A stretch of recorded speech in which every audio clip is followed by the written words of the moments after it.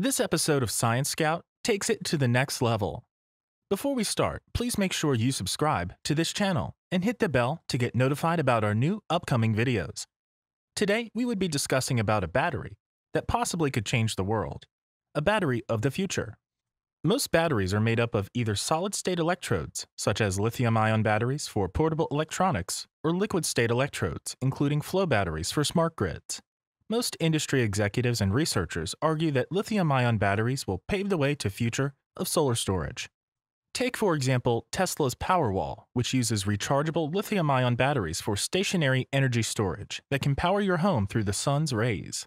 And according to Grandview Research, the lithium ion market is projected to be worth $93.1 billion by 2025. But a novel concept in reversible chemical to electrical energy storage, known as liquid metal battery, could change all of this. This battery system is much different, as it is the only battery where all three active components are in liquid form when the battery operates. So, what exactly is this novel liquid metal battery?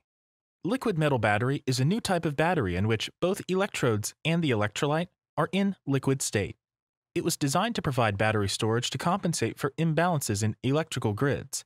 It was invented by MIT professor Donald Sadoway, and his then graduate student David Bradwell designed the first proofs of concept using antimony and magnesium with a salt electrolyte. In 2010, they formed a company which has been funded by Bill Gates, Khosla Ventures, and energy company Total. To form a battery pack, 54 cells are stacked together. 16 packs, which the company calls an Ambri core, will provide 200 kilowatt hours of energy storage. When several of these storage units are strung together in a full-size unit, Ambri anticipates it can provide 500 kilowatts of power for 4 hours. The liquid battery comes with a wide range of benefits that sets it apart from the commonly used lithium batteries. It's designed to produce lower operating temperatures and more stored energy at a lower cost liquid metal battery has the potential to revolutionize energy storage. But how does the metal liquid battery actually work? Classical batteries typically have solid electrodes and a liquid electrolyte. But the liquid metal battery is composed of two liquid metal electrodes, magnesium and antimony, which are being separated by a molten salt electrolyte. The upper electrode is a low-density liquid metal selected from the electropositive electron donor elements, and the lower electrode is a high-density metal chosen from the electronegative electron acceptor elements. A medium-density molten electrolyte is sandwiched in between both electrodes, and this allows metal cation transport between the anode and cathode. Because of the different densities of the electrodes and electrolyte, and also their levels of immiscibility, when heated to liquid form rather than mixing, they self-aggregate based on their levels of density and float into three distinct layers. However, the electrolyte can dissolve both metals. This removes the need for a separator as opposed in conventional energy cells. Discharging. Magnesium is an electron donor, and the discharge cycle begins with enough electrons on the anode supporting an electric field across the cell between the anode and the cathode. During this discharge, the magnesium anode is consumed as the magnesium ions migrate from the upper magnesium layer, seeping through the electrolyte to form a magnesium antimony MgSb alloy with the antimony in the lower layer increasing its volume. Any excess electrons on the anode flow through the external circuit to the cathode, where they neutralize the positive charge of the cations. The external current flows in the opposite direction from the electrons, which is from the cathode to the anode, thereby delivering power to the load. Charging.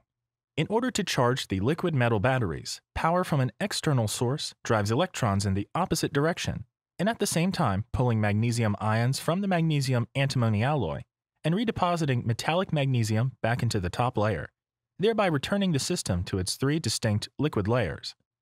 In order to keep the active metals and electrolyte in active state, liquid metal batteries have to operate at an elevated temperature, and this is achieved by self-heating during charging and discharging, resulting in a low-cost and long-lasting storage system. When a liquid metal battery operates at room temperature, there exists potential energy between the electrodes, which creates a cell voltage. The cell voltage is determined by the difference in electronegativity of the metals, which relates to the difference in their Fermi energies. The larger the difference, the greater the cell voltage. These electronegativity and Fermi energy differences were paralleled by the respective densities, a feature which fortunately enabled the requirement for liquid density differences and layer ordering to be concurrently satisfied. Now that we have a clear understanding of the metal liquid battery structure and how it works, let's look at some of the advantages and disadvantages. Liquid metal batteries offer us immense advantages, one of the most important being that they have a very low cost. For example, Ambri cells utilize electrodes comprised of commodity materials that cost a third of those in NMC lithium ion cells. The manufacturing of Ambri cells is far simpler and requires a third to a half the capital expense per megawatt hour of production than lithium ion. This is largely due to the fact that most of the materials being used are earth abundant and way cheaper than other materials. Furthermore, Ambri based systems do not have cooling, fire suppression, or module and rack based BMS equipment, as lithium ion systems require. For these reasons, Ambri based systems are projected to cost 30 to 50% below equivalent lithium ion systems from 2022 to 2030, even after accounting for the aggressive cell price reductions that are forecast for the incumbent product. Lithium ion batteries are projected to drop in price from current levels to less than $100 per kilowatt hour at some time in the mid to late 2020s. Even compared to this low future lithium ion price of $100 per kilowatt hour, these energy storage systems will be 70% more expensive than Ambri based battery systems. Also, the natural self segregation of the active liquid components enables a simpler and low cost cell fabrication when compared with other conventional batteries. Another advantage of liquid metal is that overall, liquid metal batteries are more suitable for large scale electricity storage compared to the popular lithium ion batteries. The liquid metal battery, though heavy, it cannot burn and neither does it fade with use. Lastly, when compared to its strong competitor, lithium ion batteries, it seems that liquid metal batteries are more suitable for large scale electricity storage. Despite these advantages, liquid metal battery has its disadvantages. The biggest disadvantage of this technology is the elevated operating temperatures, which are generally less than 200 degrees Celsius. Also, there are three liquid layers that make operation of the battery very sensitive to motion, and this becomes very dangerous when the liquid electrodes touch, which leads to a short-circuited cell and fleeting heat generation. However, according to Ambri, at room temperature, Ambri's cell is non-conductive and its active materials are solid metals and a solid electrolyte. Upon heating to 500 degrees Celsius temperature, Ambri-based battery systems operate at maximum performance level, no matter the external temperature, and require no power-hungry air conditioning. Ambri-based systems generate their own heat during use, thereby eliminating the need for auxiliary power for temperature control. These systems like to be used. A full charge-discharge cycle, at least every two days, will keep the system at its operating temperature, and higher duty cycles will not increase degradation. I have spoken so far of advantages and disadvantages, but now I want to talk about the materials cost and abundance. Metals. The use of antimony, SB, as the positive liquid electrode in a liquid metal battery offers a low-cost chemistry below the threshold cost required for broad-scale adoption of a large-scale electricity storage technology. Antimony could potentially drop the cost of the active components by a factor of 5 while providing similar voltages for analogous chemistries. Molten chlorified salts, such as magnesium chloride, potassium chloride, and sodium chloride, are suitable as the electrolyte, providing high conductivity, a suitable density and liquid range, and stability with reactive metals. Now, let's talk about bringing liquid metal batteries to the market. Grid scale storage is a key target for liquid metal battery technology and its energy storage capacity. Ambri has a 1000 kilowatt hour capacity, 250 kilowatts output, 500 to 1500 voltage, response time less than 500 milliseconds, and exceeds 80% of DC efficiency under wide range of use cases, which fits into and can be delivered in a 10 foot shipping container.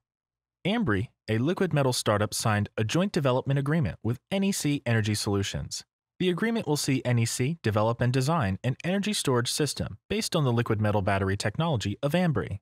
NEC will also employ its proprietary AEROS energy storage operating system and controls in order to optimize the system of performance of the Ambri-based energy systems for NEC customers that could include utilities, independent power producers, IPPs, and other project developers. Ambri itself has raised over $50 million to further develop and improve on its liquid metal battery technology. They claim that when batteries are tested in the lab, they are often cycled 12 times per day. This allows researchers to achieve 1,000 cycles in just a few months. Researchers are often tempted to extrapolate this cycle life to predict a lifespan. For example, if a battery maintains 90% of its capacity after 1,000 cycles, then it should maintain 70% of its capacity after 3000 cycles.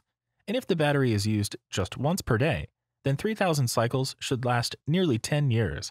In addition to that, some extensive laboratory testing on over 2,500 cells with a cumulative test time of 600,000 hours and 100,000 cycles shows that the all-liquid cell design avoids the main failure mechanisms experienced by solid components and other battery technologies, which enable their systems to have a projected lifespan of over 15 years with no degradation in performance.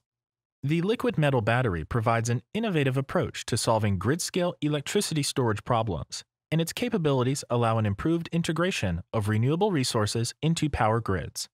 Are you interested in learning about biofuels, their history, classification, types, uses, production, and the cost of production? Watch the next video.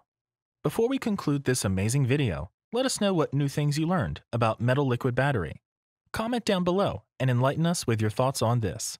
Also, subscribe to our channel and hit that bell icon to get notified about our new upcoming videos.